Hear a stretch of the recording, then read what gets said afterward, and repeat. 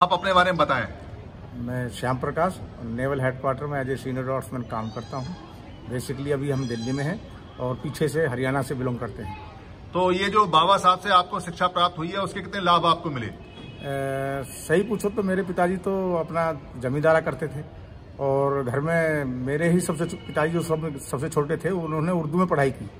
और बाबा साहब का नाम तो हमने यहाँ दिल्ली में आने के बाद कुछ थोड़ा बहुत सुना सही पूछो तो। पहले हमारे यहाँ रूरल बिल्कुल हरियाणा में इतनी वो नहीं है। आप पुराने जमींदार रहे हैं बाबा साहब की आवाज़ आने से पहले और आपके पिताजी पहले से पढ़े लिखे हैं।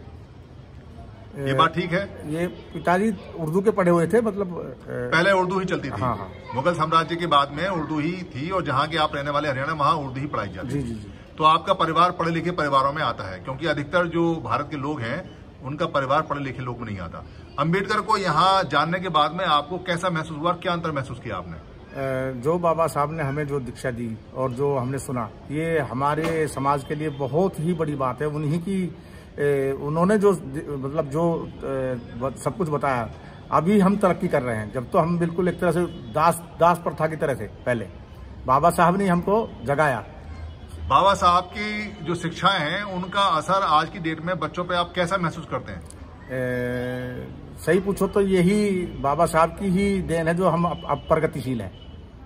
बाबा साहब ने एक धम्म दिया और ये बताया था कि भारत का अपना धम्म है किसी विदेशी धरती का ये धम्म नहीं है जो बुद्ध का धम्म बताया। उसके बारे में बच्चे क्या समझते हैं आज की डेट में? ए, जो इस इस तरफ़ जिनका रुझान है वो तो ये है ही है कि जो बाबा साहब ने बताया या बुद्ध साहब ने जो बताया, वो बहुत ही एक उच्च शिक्षा का वो है। और इस तरफ़ जो भी आएगा, वो आगे तरक्की ही करेगा। और है भी सही बिल्कुल। और मैं भी गया हूँ इसमें जो हरियाणा बहुत पुराना धम्म का क्षेत्र रहा है। अगर आप देखें तो उसमें यमुना नगर के अंदर बहुत बड़े बड़े स्तूप हैं। जो कम्मासपुर है वहाँ पर स्तूप है राखीगढ़ के अंदर जो मिल रही हैं कब्रें हैं वो सारी सारी सिंधुकालीन बौद्ध सभ्यता की हैं।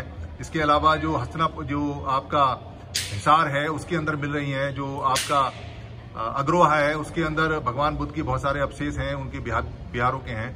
और हरियाणा का जो पूरा नाम है वो अरी यान है यानी कि जो अरिय यान है अरिय ज्ञान है उसके नाम के ऊपर है।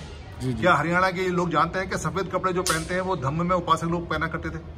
कुछ लोग जो है इस बारे में सचेत हैं। बाकी तो बीच बीच में कुछ ऐसा वो आया जो हरियाणा का कुछ एरिया ऐसा भी है जो राजस्थान से लगता है वहाँ इतने मतलब उच्च शिक्षा प्राप्त लोग भी नहीं है और दूसरा ये आप मानते हैं कि हरियाणा के लोग सीधे सच्चे लोग हैं जो क्या बोलते सच्चाई का पालन करते हैं? जी हाँ। और ये गुण पाँच सील के गुणों में से आता है जो बुद्ध ने दिए जो पूरी दुनिया में चलते हैं इसकी जानकारी है आपको? जी हाँ। चलिए कुछ कहना चाहेंगे हरियाणा के लोगों को?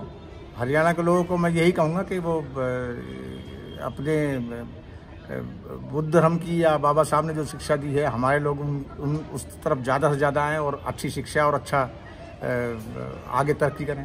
धन्यवाद।